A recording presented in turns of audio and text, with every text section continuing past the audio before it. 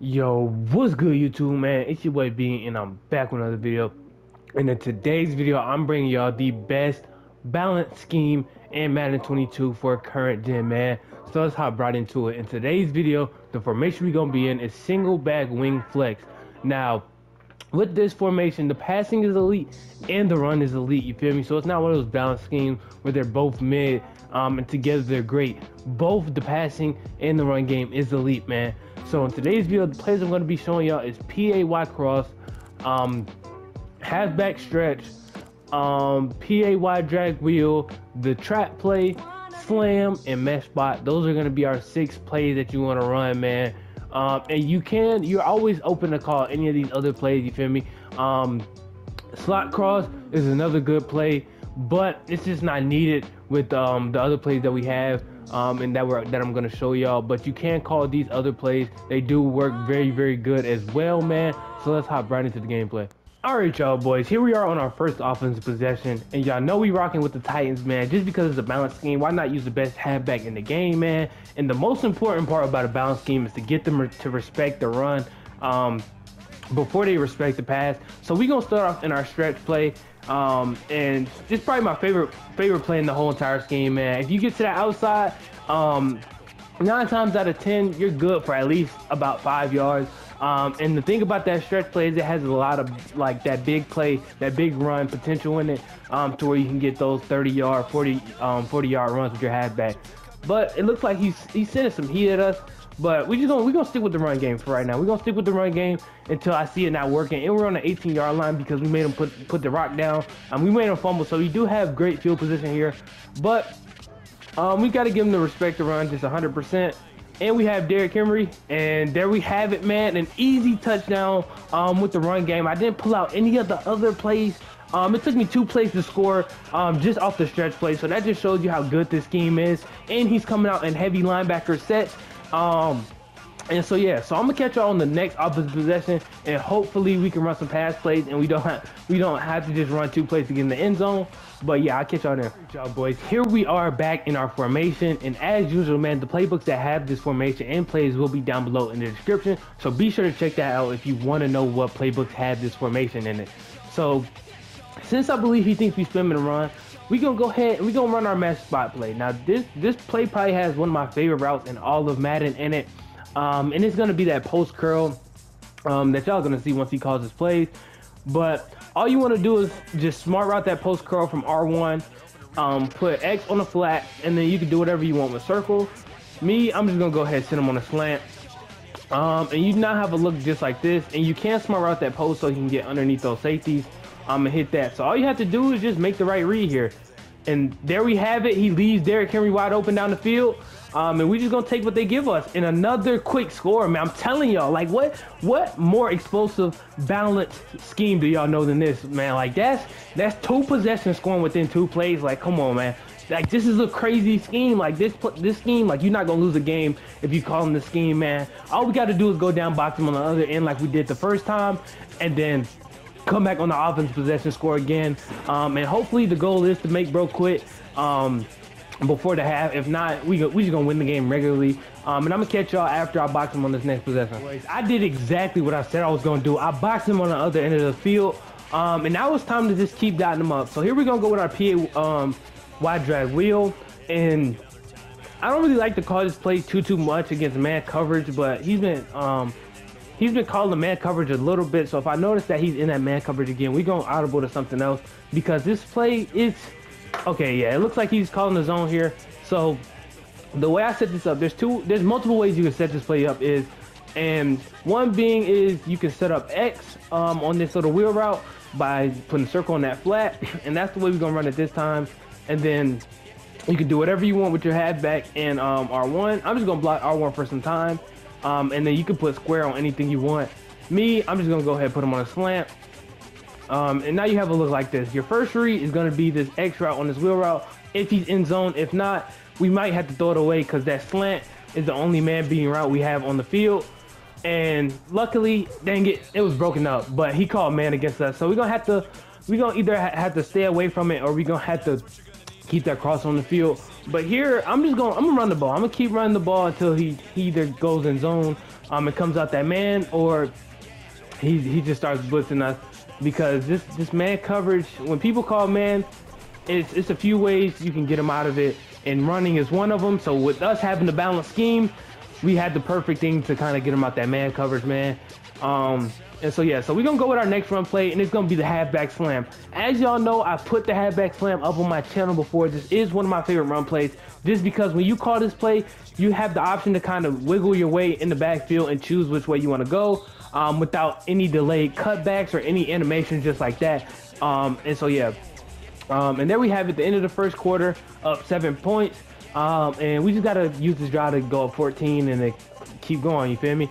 But like I said, we're gonna go with this halfback slam, and I'm gonna go ahead and double team his inside stuff. And we, it looks like we we probably gonna end up going towards the left side of the field here. And boom, there we have it, an easy, easy, easy first down. Um, and we're gonna go we're gonna go back with mesh spot, man. Mesh spot, um, it's been working for us, and he's been calling that man, so we can hit that that post very quick, or we can hit that slant. So we're going with the same setup. Um, put um, AJ Brown on that slant, smart route square. Make sure you smart route that post curl. X on a flat and you have a look just like this. And then we can go ahead, we can hit that, if he's calling man like that, we can hit that post quick every single time, man. Um, we gonna, we gonna do that until he starts respecting it. Um, but here on first down, we gonna go with the trap play, um, just so I can show y'all all the plays that I, that I, you feel me, that's in the scheme. Um, cause I can really just keep running stretch. Like I said, that's my favorite run play out of this scheme. Um, it works, it works like almost nine times out of 10, you're gonna get a positive gain. As long as you can get around those that edge um, from that DN or outside linebacker, you should be okay. Um, and there goes that trap play. As a lot of y'all know, traps are one of the best run plays in Madden in general. Um, and so yeah, so we're just gonna go back with our mesh spot play. It's been working very, very well for us. Um, I believe I've shown y'all every every play so far, so we could just go ahead and start playing this more like a regular game and trying to win. So we just gonna we gonna we gonna stick stick with the same thing, same game plan. Um, if it ain't broke, don't fix it. So, boom, we got we got Julio Jones across the middle of the field once again. Um, if he's gonna continue to press, um, man, we gonna continue to hit our post right across the middle of the field, man. Um, oh no, I haven't showed PA Y cross. Now here is it's a zone beater, but I do want to try it against man coverage. Um, so if it doesn't work, you feel me? I'm warning y'all now, it isn't a man beater. It's a cover three, cover two um, beater, and sometimes even a cover four beater.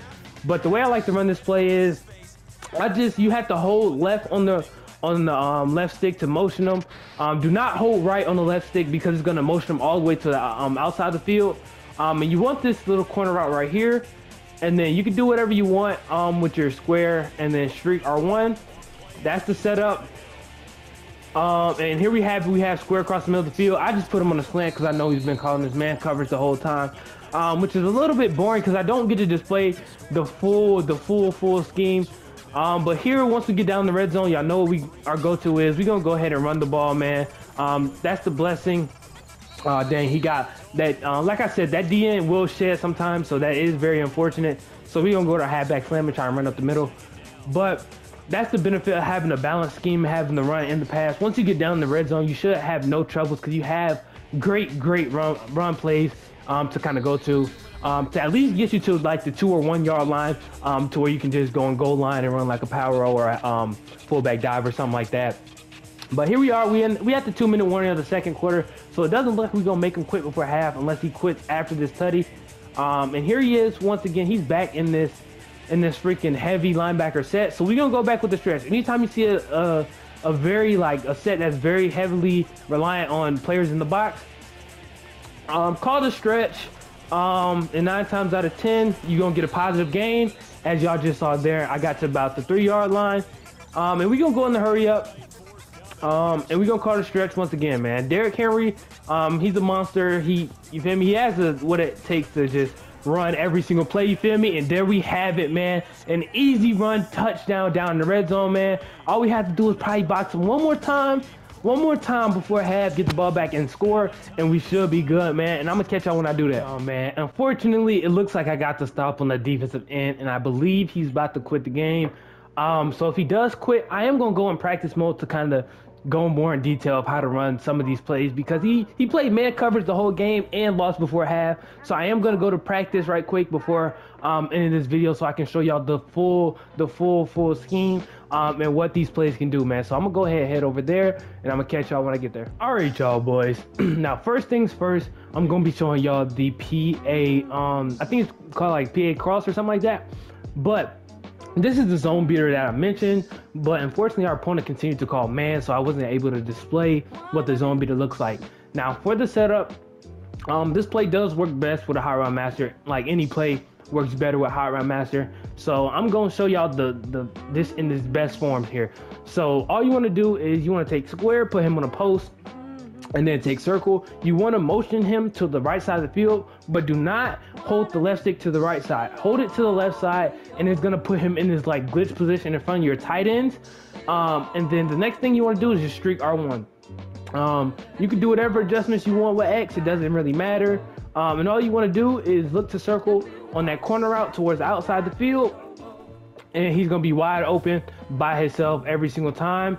And there we have it, man. And that, if that's a faster receiver, if I were to put um, like Scotty Miller right there, that's an easy rack tutty. Uh, Mike Evans just isn't the most ideal receiver for speed, but it's okay though. So I'm gonna show y'all this setup one more time. Put square on the post, motion your inside receiver in by holding the left stick to the left, streak R1, um, and then just look to him on the outside of the field um, for an easy completion.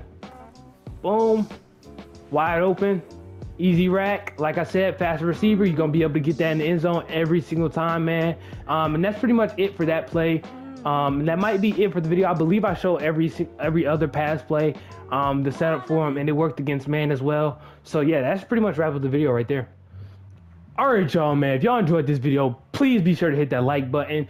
And if you're new to the channel, sub up, man, on the road to 5K, and comment down below what type of vids you'd like to see from me in the future. And it's your boy Bean, and I'm out, man. The coupe and go top speed. I can't believe that they cross me. Nigga be sounding like